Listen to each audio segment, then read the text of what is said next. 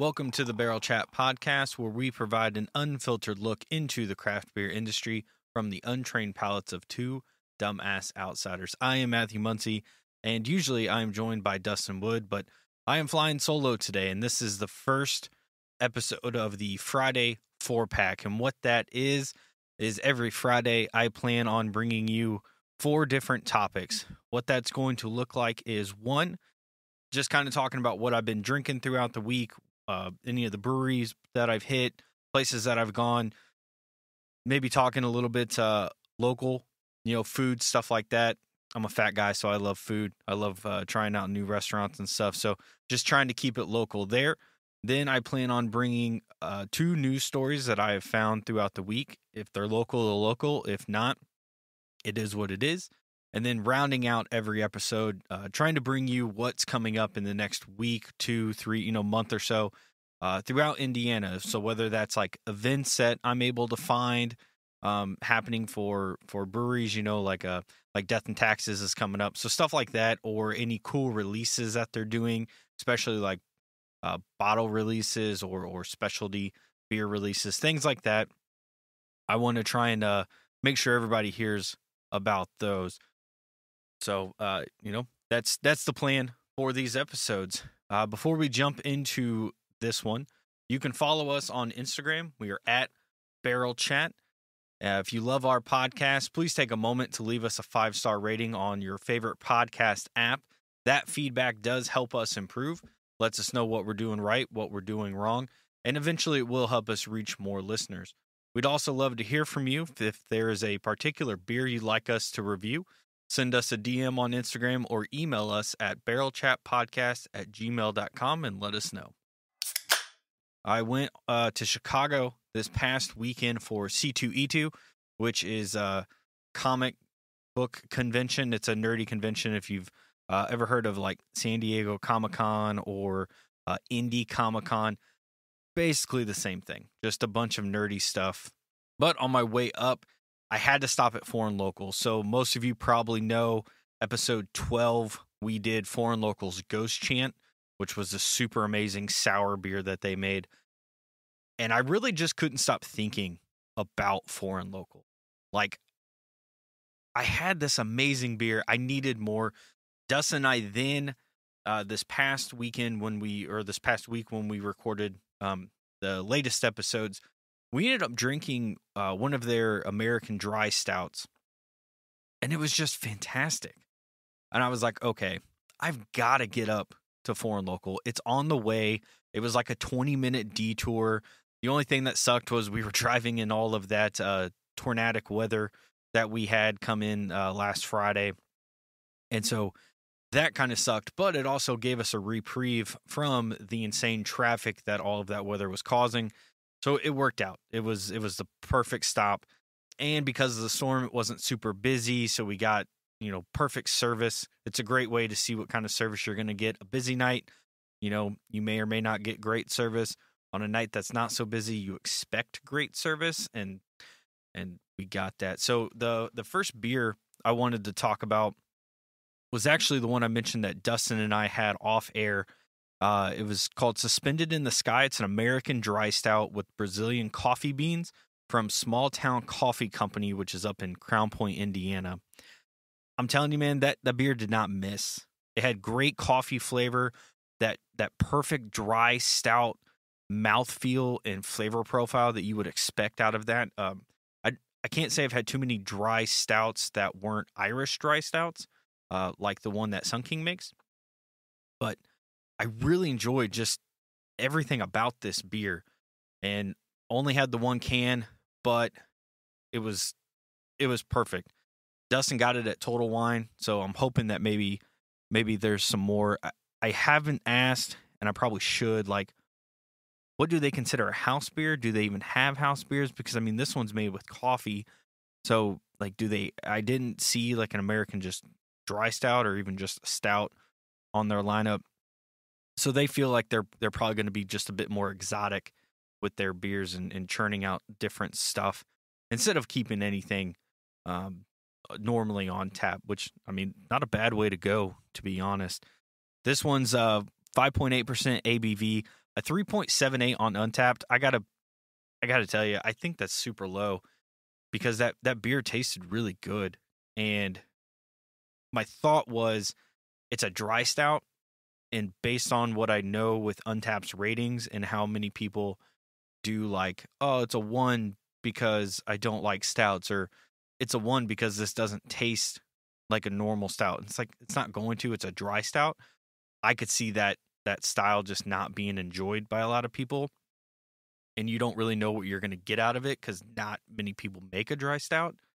So I, I could see why it probably has a lower rating because it, it's not a low rating in my opinion based on taste. And this is uh, this is a perfect example of you know sorry Dustin, but this is why I stopped using Untappd was because this is a beer that I would look at back in the day and say, well, it's lower than a four. Well, I'm not going to get this. And I'd miss out on a great beer all because the, the Untappd rating system is broken in a way that people can leave half star, one star, and it has nothing to do with the actual beer itself. It's because they don't like the style or something. It, it's kind of really stupid, and I know we've talked about it, and I'm sure everybody and their brother has talked about it at this point. Not sure how you fix it, but it is a reason that I've kind of stopped using Untappd for looking up what what beers are actually good and should I buy it and stuff like that. So when I made made my way up this past week uh, to foreign local, uh, just to kind of point out some things, it's a really small brewery. Like that tap room was super tiny. I, I wasn't expecting anything big, my assumption is I bet it was like a, a an auto garage. It also had that kind of setup to it. So it wouldn't shock me if it was something like that. But the way it was laid out was super nice, super convenient. Um, lots of space for you know. It, there wasn't like a ton of of places to sit. Like if it was a busy night, but you know it it at least makes it work. I mentioned the the service we got. I know part of that is because it was slow, but as I mentioned, like I've been places that are slow with not a lot of people and you still get really bad service just because the person working just sucks. But the bartender we had was amazing. She was super friendly, super helpful. There was a leak that happened uh, because of all the rain, like this really bad leak coming through a window, you know, and she had to like deal with that and and trying to get people to to move because there was water everywhere, like starting to go under people's tables and stuff. It it kind of became a little chaotic there for a minute, but you know, cool under pressure and was still just super friendly, super helpful. Just it's something that whenever you have an amazing experience from from your server, your bartender, whoever it may be, it really just makes that experience more memorable. And I and I feel like that gets lost with some people because not a lot of people necessarily love their job when it comes to being a bartender or a server or something like that. And that shows. And this one I I it definitely felt like she loved doing what she was doing.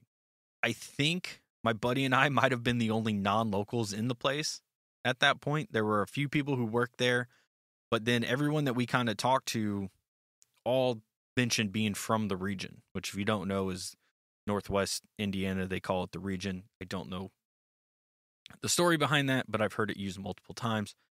But everybody was super friendly, very talkative. They they kind of made you feel like part of the group instead of outsiders, and nobody was was like, you know, oh, you're from Indianapolis. You know, there wasn't any snottiness to it. There, there wasn't anything like that, and it was just super nice. Not that I would expect that from from people in the region for any reason, but like you just didn't get that feeling. There was no no feeling of being being not from the region. It just a another part of the experience that outside of the beer just kind of made it more fun.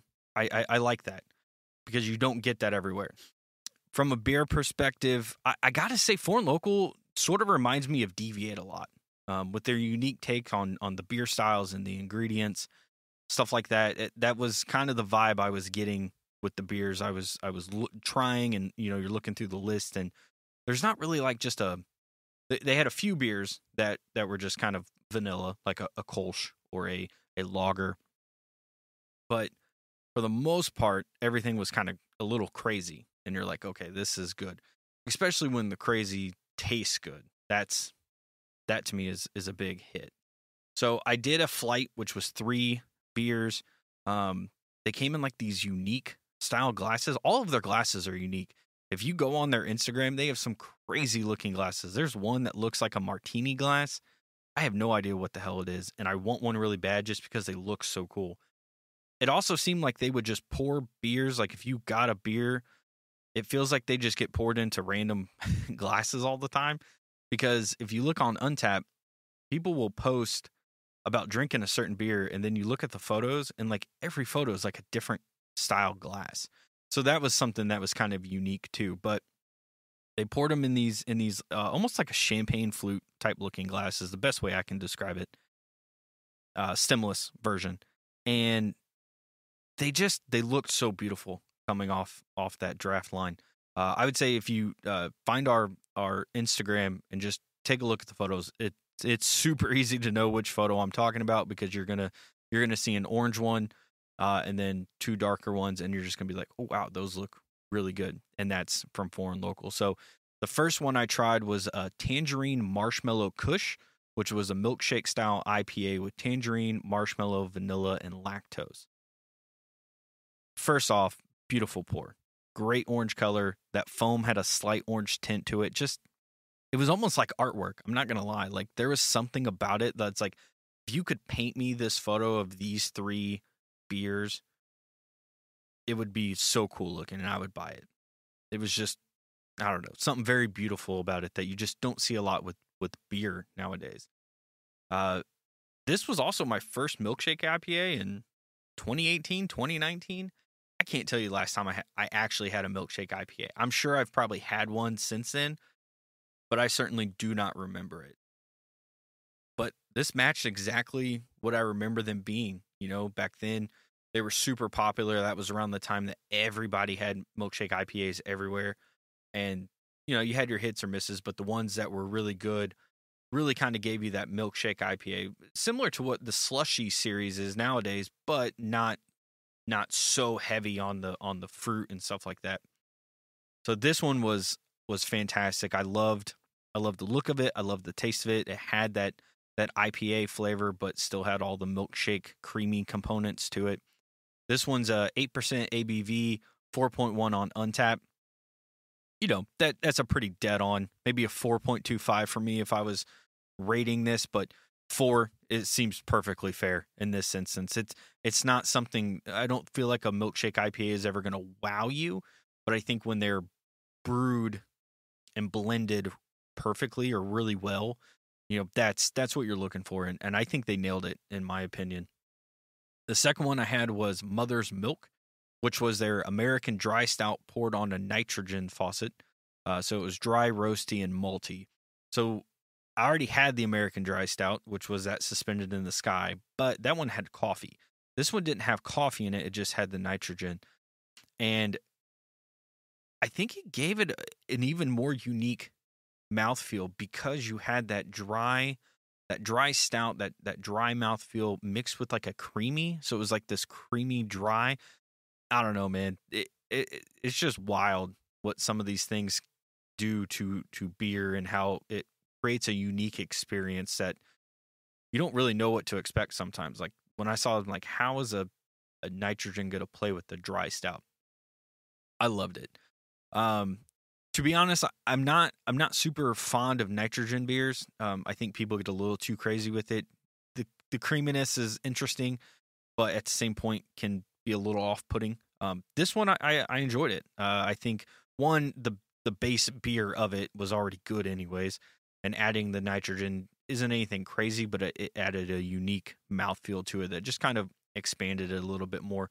Now, this one did have a, a 3.72 on Untappd, and not gonna lie, that that does feel about appropriate. And and I would say that I think the nitrogen sort of takes away from the rating a bit, just because you're you're not getting that full experience with the dry stout and the nitrogen kind of adding its unique mouthfeel to it like maybe doesn't isn't always the best and while this was good i don't think it was amazing and you know i, I do feel like the nitrogen on the coffee version might might be damn good you know, you get you kind of you do that uh, almost like a nitrogen cold brew. I know it's not the same, but like I don't know, that, would be an interesting take to see. Uh, the last one I had was one I saw on their Instagram and and was one of the main, you know, outside of just wanting to go to foreign local. I was like, I have to go try this beer. Uh, it was Blueberry Breakfast Dead Forever, an imperial stout with blueberries, maple syrup, cinnamon, and coffee. I have in my notes here in all caps, what's not to love. And that's the truth. I, I love pastry stouts um, that that actually kind of taste like something. So this one reminded me of blueberry pancakes. I do love a good pancake stout, and you don't get a lot of them. And I feel like sometimes when people are like, "This is a pancake stout," it never hits those notes. But when people are just trying to go for like a breakfast one, it's it's a lot of what reminds you of that. And and a lot of this is the blueberry and the maple syrup really reminding you of that. I don't really remember getting much of the coffee. I don't really taste cinnamon in beers that I'm aware of. Um, that's a just a, a me thing. But this I liked, and I think it was blended perfectly together because what I found a lot of times is that pastry beers can be like way too damn sweet, especially when mixed with the stout. Since you know stouts can come out kind of sweet with that with that chocolate flavor, and sometimes the pastries just don't blend well. This one, for me, was blended great. There was no overpowering of the sweetness. You still got a bit of that stout that came through. It, I liked it. I, I really, really, really, really liked this beer. I brought some back, so Dustin and I are definitely going to have this on a podcast, so that way we can kind of discuss it because I liked it that much. Uh, it's 11% ABV, a 4.38 on Untappd. I'd give it a five, a 4.5. I do understand probably why it's a little bit lower because not everyone's going to enjoy this. I mean, it's a pastry stout. You don't really know what you're getting into because they call it an imperial stout, but when you're dumping all this stuff into it, it's it's basically a pastry stout. And I feel like some people might not enjoy the sweetness of it and stuff like that, but four and a half is definitely where I would go. Um, so that was all all I had at foreign local. I did I brought back um, the blueberry breakfast dead forever, a couple cans of that. Were, it was like 16 bucks, I think, for like two two uh 16 ounce cans or something. And then I bought a um a glass that uh you've probably seen on our Instagram. It's the one I post with uh the little like uh, Reaper looking dude. That glass is fucking awesome. I love that glass. I spent 30 30 bucks before tip and I had a flight. I bought those two beers and I bought that glass. That f- fucking cheap, man. To me, that seemed very cheap for what I got and the service I got and everything else. So, uh, shout out foreign local. Keep it up. I am excited to make my way back up there uh, here in the near future because it's it's well worth that two hour drive. Uh, so then once we ended up getting to Chicago, it was time to eat. Uh, the buddy that we were meeting up there uh, he took us to a place called Hopleaf Bar. Uh, so this is somewhere I don't know exactly where in Chicago, to be honest, but uh, we went to Hopleaf Bar. Their tagline: promoting better beers, wines, and spirits in Chicago since 1992. They have a ton of Belgian beers and then Belgian-inspired food. What sold me when our buddy was asking us, like, "Hey, is there any places you'd like to go?" He had he had mentioned this place because of their robust beer list and, and knowing that I'm a, a the beer nerd I am, he was just like, I think you would like this. I took one look at their food menu and saw they had a brisket Reuben. I was like, we're we're going here. I don't care about the beer. I'm trying this brisket Reuben. You're you're marrying two things that I I really enjoy uh, together. This has to be amazing. And so we went, and to be honest, all the other Reubens have been ruined for me. Um, I had the uh, Rausch Doppelbock from Dovetail Brewing. Uh, just another ridiculously good uh, beer. And I love Rausch beers. And this was a 9.1% ABV Rausch beer. Just fantastic. Nice smoky flavor, nice boozy finish. It paired perfect with that brisket Reuben. So uh, 10 out of 10 would 100% eat and drink uh, both of those every single day. And uh, the last thing I wanted to mention about that trip, uh, so we got to C2E2, and uh, Revolution Brewing was there, and they actually had um, this like really cool layout in the middle of the of the showroom floor where it almost felt like you were like a tailgating spot and you could go and and get their beer and you had to stay in the area but they had like picnic tables and uh, it looked like cornhole and stuff like that it was just a, a really cool experience um, that i've not seen the one the few times i've been to like Indy comic con i i didn't see any beer or anything like that so i, I just thought that was a, a pretty neat setup that they had jumping into the second part uh, we got two news stories here. So this first one, this first one's a fucking doozy. This one I feel like can sometimes be hard to talk about. It shouldn't be, which is real stupid to say. Uh, but that's the fucking world we live in nowadays, unfortunately. So uh, this this could go one of two ways. Um, you're either going to agree with us, or you're never going to listen to this show again. Uh, I guess we'll find out. But hey, these are the kind of stands you got to take sometimes. So the first one is the Bud Light backlash. I'm sure everyone has heard about this one already um, because it's making its rounds on on all the news channels thanks to Kid Rock. So Bud Light recently sent a custom Bud Light can to actor and TikTok star Dylan Mulvaney, and they are now receiving anti-trans backlash because of that. Let me repeat that. All they did was send a custom Bud Light can to a person. That was it. That's all they did. They're not selling these cans to anybody. They're not putting this person's face on their cans to be sold anywhere. That this was just a nice thing that they did. The reason for the custom can, as they said, was it was intended to celebrate Dylan's milestone of transitioning, and uh, she was celebrating 365 days of womanhood. That's it. That's, that's all we did. Is it. Per ABV, in an article uh, that I got from BuzzFeed, Anheuser-Busch works with hundreds of influencers across our brands as one of many ways to authentically connect with audiences across various demographics, a spokesperson said in a statement shared with BuzzFeed News. From time to time, we produce unique commemorative cans for fans and for brand influencers like Dylan Mulvaney. This commemorative can was a gift to celebrate a personal milestone and is not for sale to the general public. What the fuck's the big deal? But because we live in a in a terrible timeline, a lot of people have taken to uh, Twitter, which is where you go yell into a void. Uh, and you know they're they're mad at Anheuser Busch for even associating themselves with with a trans individual. This is stupid sadly not shocking. And uh you know, we we are on we are on the side of of Bud Light and Dylan. We we are pro trans. Do whatever the fuck you want. Nobody who cares. There's other debates you can have about stuff, but this one is stupid because this is not this is not a backlash because Dylan is a terrible person that I'm aware of. I could not find any information like that.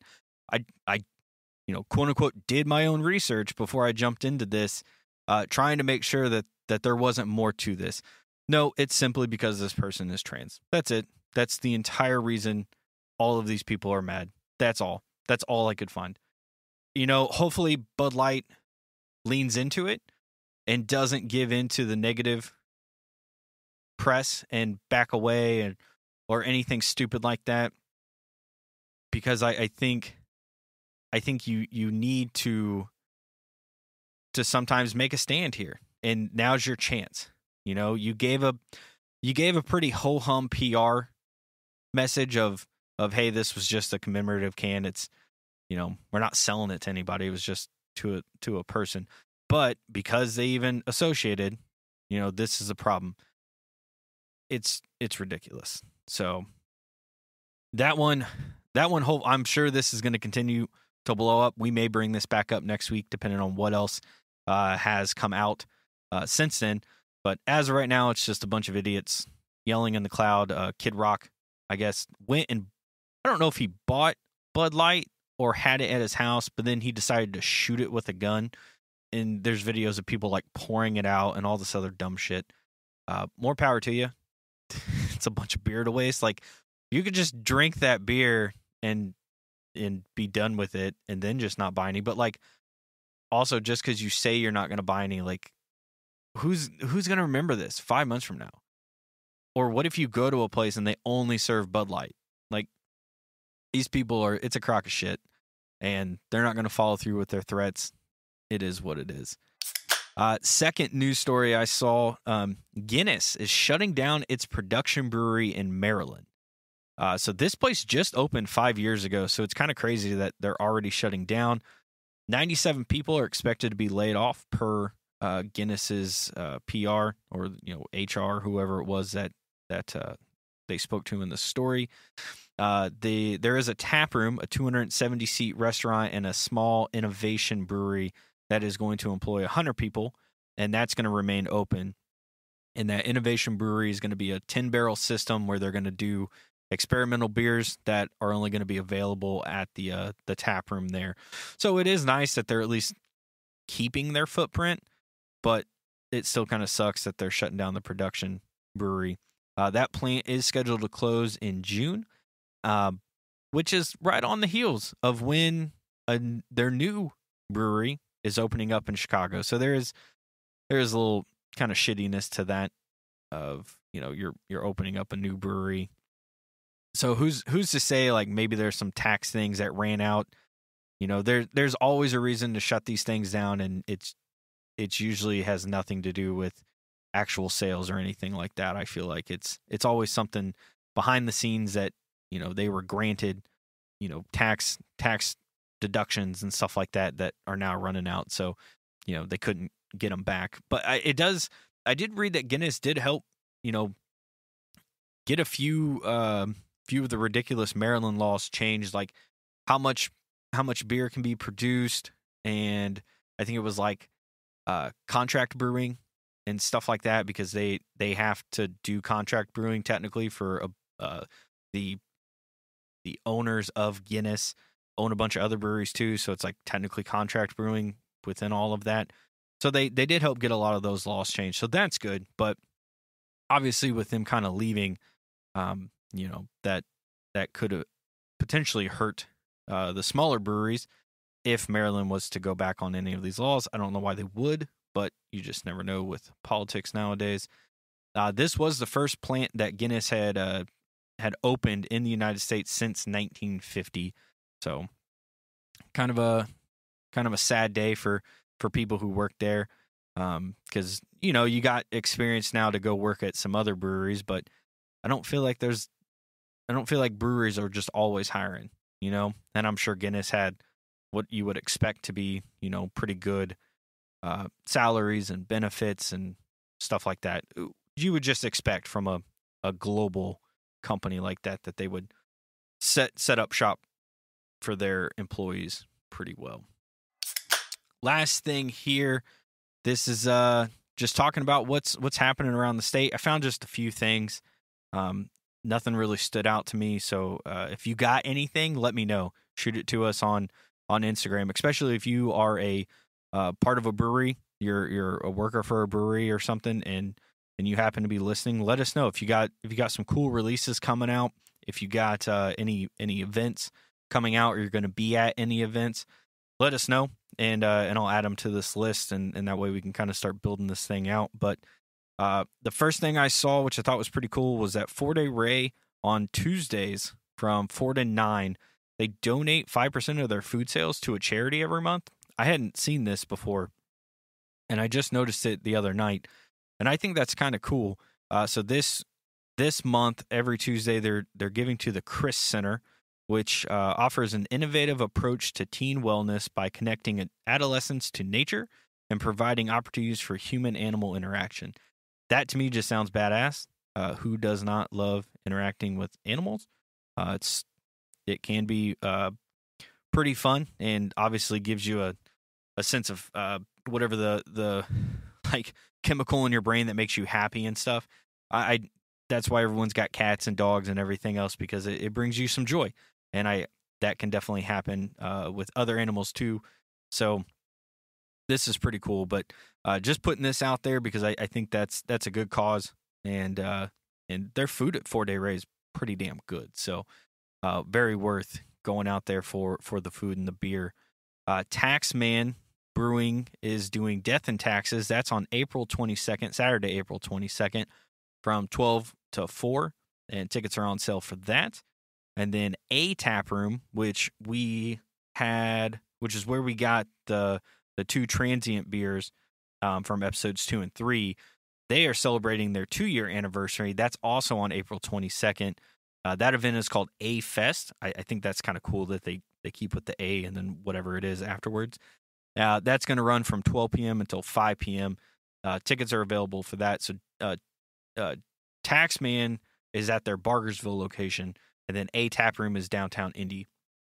So, those two events are are available. Uh, that's really all I found, other than the. Uh, uh, I did see uh, this morning can redesigns for. Shoot, who was it? Bier Brewery. Those look slick, super clean. Whoever designed those, whew, good job, good job. But uh, but that's going to do it for today's show. If you got any any information you want to share with us, just shoot it our way either through Instagram or through our email barrelchatpodcast at gmail.com. But until next week, cheers.